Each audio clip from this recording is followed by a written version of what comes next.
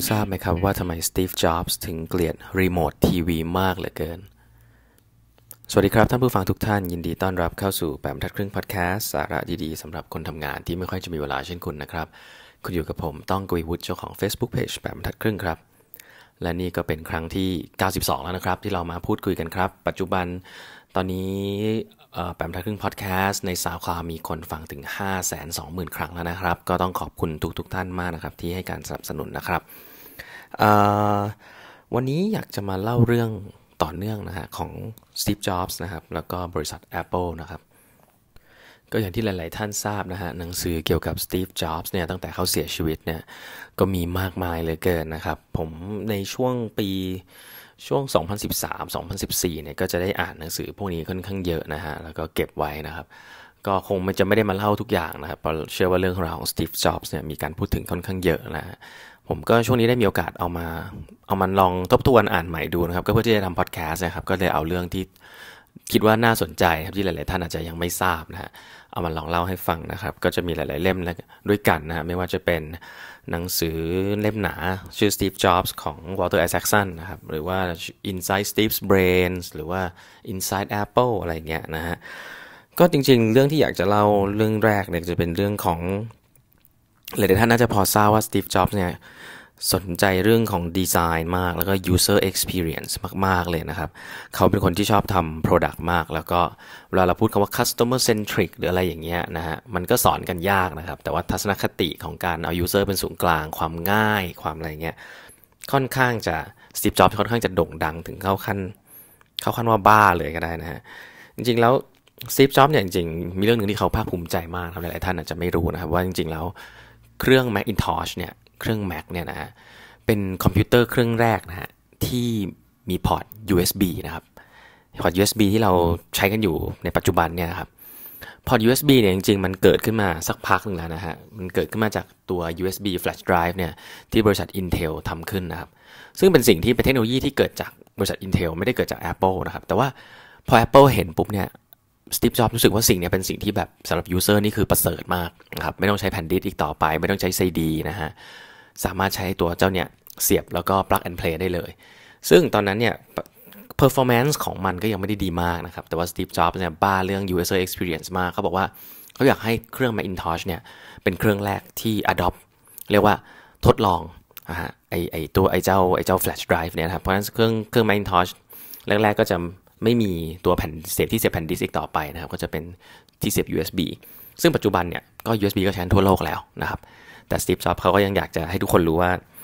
เขาเนี่ยเป็นคนคิดเป็นคนแรกครับว่าจะมาใส่ในเครื่องคอมพิวเตอร์ตอนที่คนยังไม่ค่อยชอบเลยนะครับ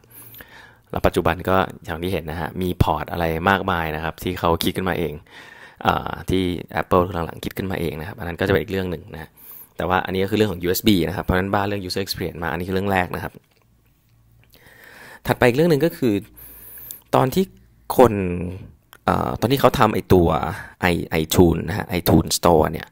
พร้อมกับเครื่อง iPod เนี่ยมีคนถามเขาเยอะมากเลยนะครับว่าทำไมเขาถึง เพราะว่าเครื่องไอ iTunes Store เนี่ยขายเพลงนะ Apple Music เนี่ยไอไอ iTunes Music เนี่ยขายเพลงตกเพลงหนึ่งประมาณ 99 เซนต์นะครับ ปัจจุบันก็ยังขายอยู่นะครับตอนช่วงที่เขาทำแรกๆเนี่ยมีคนถามเขาเยอะมากนะครับว่าทำไมคนต้องมาซื้อด้วยอะ ในเมื่อตอนนั้นเนี่ยนะฮะจริง ๆ แล้วเรื่องของการทำไฟล์แชร์ริงนะครับ ตอนนั้นหลายๆคนอาจจะใช้สิ่งที่เรียกว่า Napster อะไรเงี้ยเขาเขาได้ไฟล์มาฟรีๆฟังกันนะครับทำไมถึงต้องมาซื้อใน iTunes Store ด้วย Steve Jobs เนี่ยมีความเชื่อครับ แล้วตอบไปชัดเจนว่า user experience นะครับ หมายความว่ายังไง ถ้าเมื่อก่อนเนี่ยเวลาเราดาวน์โหลดเพลงมาสักเพลงในคอมเนี่ยนะฮะ กว่าจะต้องเออเขาเรียกว่าไงเเสียบ USB นะครับ transfer ไฟล์จากโฟลเดอร์หนึ่งไปอีกโฟลเดอร์หนึ่งนะครับ เข้ามาอยู่ในเครื่องเล่นเพลงนะฮะอาจจะเป็นเครื่องเล่นเพลง CD หรือว่าจะเป็นเครื่องเล่นเพลง MP3 อื่นๆเนี่ยมันก็ต้องมีการ drag and drop อะไรกันมากมาย ถูกไหมครับ แต่ว่า Steve Jobs เนี่ยบอกว่าสำหรับ iPod แล้วก็ iTunes Store เนี่ย มันจะ seamless มาก คือ you ดาวน์โหลดปุ๊บ มันเข้ามาในเครื่องเลย you ไม่ต้องไปยุ่งอะไรกับเครื่องคอมพิวเตอร์เลย ไม่ต้องเปิดคอมเลยก็ได้นะครับ ซึ่ง ตอนนั้นสิ่งที่ Steve Jobs จะทำก็คือไอ้แค่ part เนี่ย part การที่การที่ทำให้การดาวน์โหลดเพลงจาก iTunes เนี่ยกับตัวเครื่อง iPod เนี่ยมัน sync กัน 100%เขาเชื่อว่าสิ่งนี้จะทำให้คนเนี่ยยอมจ่าย 1 เหรียญหรือ 99 เซนต์ต่อเพลงแทนที่จะเป็นฟรี ซึ่งปัจจุบันสิ่งนี้ก็ถูกต้องแล้วนะครับ ปัจจุบัน iTunes Store iTunes Music เป็นร้านขายเพลงที่ใหญ่ที่สุดในโลกนะครับ เพราะฉะนั้นความเชื่อของเขาเรื่อง user experience ว่าเล็กๆ น้อยๆ แบบเนี้ยที่คนเนี่ยคิดว่าคนจะไม่จ่ายตังค์เนี่ย กลายเป็นว่าถ้าคุณทำให้มัน seamless ได้แบบเนี้ยคนก็จ่ายเงินนะครับ และปัจจุบัน iTunes Music ก็เป็นร้านขายเพลงที่คนซื้อจริงๆ แล้วก็ซื้อมากที่สุดในโลกแล้วด้วยนะครับ ก็ด้วยความ seamless ของไอตัวซอฟต์แวร์แล้วก็ฮาร์ดแวร์ของ Apple นั่นเองนะครับ เรื่อง UX เนี่ยจริงๆแล้วไอตัว iPod เนี่ยก็จะเป็นสิ่งหนึ่งซึ่งผมคิดว่าหลาย ๆ ท่านน่าจะอตอนที่มันออกมาเนี่ยมันค่อนข้างจะเป็น อุปกรณ์ที่ดูประหลาดๆนิดนึงนะครับ แทนที่จะมีการมีเมาส์กดขึ้นขึ้นลงลงเนี่ยในการที่จะเลือกเพลงเนี่ยมันจะเป็นไอตัวหมุนๆนะครับไอตัวหมุนๆนั้นเนี่ยจริงๆก็ก็คิดขึ้นมาแล้วก็ brainstorm ขึ้นมานะครับ ก็มีเรื่องราวของมันนะวันนี้คงยังไม่ได้เล่าให้ฟัง แต่ว่าไอตัวหมุนๆตรงนั้นเนี่ยก็เป็นส่วนที่สำคัญของ iPod นะครับแต่ว่ารอบๆของ iPod เนี่ยมีสิ่งที่ Steve Jobs เนี่ยจริงจังมากอยู่สองสาเรื่องนะครับ เรื่องแรกก็คือ เชื่อไหมครับว่าตอน iPod ออกมาครั้งแรกเนี่ย สตีฟจ็อบส์เนี่ยส่ง iPod ออกไปให้กับบรรดามีเดียต่างๆนะครับคนที่รีวิวต่างๆ ให้ลองใช้ครับ แล้วพอสตีฟจ็อบส์เนี่ยมาลองใช้แล้วก็มาลองเสียบแจ็คครับเขาลองเอาหูฟังเนี่ยมาเสียบตัว iPod แล้วเขาพบว่ามันไม่มีเสียงคลิกฮะคือมันเหมือนกับนึกภาพไหมฮะคือแบบพอเสียบแล้วมันเหมือนกับมันตันๆอะมันไม่ได้มีเสียงกลึกอะไรเงี้ยสตีฟจ็อบส์บอกว่าเขาต้องการ feeling ของเสียงคลิกที่มันถูกต้อง คือตอนนั้นเนี่ยเสียงคลิกมันไม่ถูกต้องหรือมันมันไม่มีครับมันทำให้เกิดว่า feeling มันไม่ได้นะในการเสียบหูฟัง เขาก็เลยสั่งวิศวกรฮาร์ดแวร์ครับให้ไปทำใหม่หมดเลยครับ ตอนนั้นเนี่ยกำลังจะออกแล้วเลยนะฮะก็ต้องหยุดการออกไว้ แล้วก็ไปทำให้ไอ้ตรงการเสียบหูฟังของ iPod เนี่ยมันมีเสียงคลิกที่เหมาะสมนะอันนี้ก็อีกเรื่องหนึ่งเห็นไหมครับเพราะ detail รายละเอียดต่างๆเหล่านี้หลาย ๆ ครั้งก็ถามลูกค้าไม่ได้นะครับ มันก็เป็น sense ของเขาจริง ๆ นะครับ อันนี้ก็มาเล่าให้ฟังสนุก ๆ นะครับ ว่าให้เป็นเราเราจะคิดถึงขนาดนั้นหรือเปล่านะสตีฟ จ็อบส์เนี่ยจริง ๆ แล้ว เขาหลายท่านอาจจะเคยได้ยินนะว่าเขาเนี่ยเกลียดเกลียดรีโมททีวีมาก รู้หลาย ๆ ท่านเป็นเหมือนผมหรือเปล่านะครับรีโมททีวีเนี่ยมันเป็นตัวอย่างของสิ่งที่เรียกว่า feature creep นะฮะ feature creep นะก็คือการของเคยเห็นเว็บไซต์ที่มีทุกอย่างไหมฮะ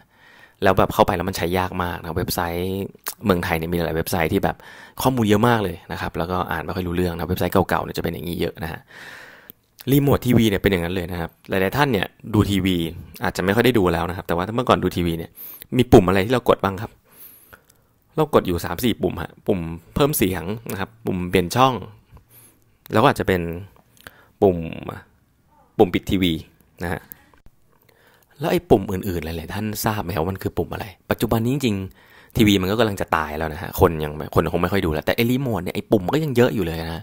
ไอ้ปุ่มเหล่านี้เนี่ยฮะที่สตีฟจ็อบส์เกลียดมากว่าแบบมันเป็นดีไซน์ที่ที่ห่วยมากคือทำไมมันต้องมีปุ่มอะไรเยอะขนาดนี้ในเมื่อถ้าเกิดเราแบบไม่ได้ใช้มัน หรือว่าจะใช้มันแบบใช้แบบนานๆเป็นปี 2 ปี 3 ปีจะใช้มันสักทีหนึ่งเนี่ยสตีฟจ็อบส์เนี่ยเกลียดเรื่องนี้มากครับคือการใส่ของที่ไม่จำเป็นเข้าไปใน Product นะเขาบอกว่าใน iPod เนี่ยตอนแรกเนี่ยตัวฮาร์ดแวร์เนี่ยมันรองรับการฟังวิทยุนะครับ แล้วก็รองรับการอัดเสียงด้วย แต่ว่าสตีฟจ็อบส์บอกว่าจริงๆ แล้วหน้าที่ของ iPod จริงๆ ไม่ใช่สิ่งเหล่านั้น หน้าที่ของ iPod จริง ๆ คือ เลือกเพลงได้เร็ว แล้วก็ดาวน์โหลดเพลงจาก iTunes มาให้ฟังได้เร็ว แล้วก็มีแค่หนึ่งมีหนึ่งพันเพลงอยู่ในเครื่อง แล้วก็ฟังเพลงของตัวเองที่ตัวเองอยากฟังอย่างเดียว ไม่ต้องฟังวิทยุ ไม่ต้องอัดเสียงนะครับ ก็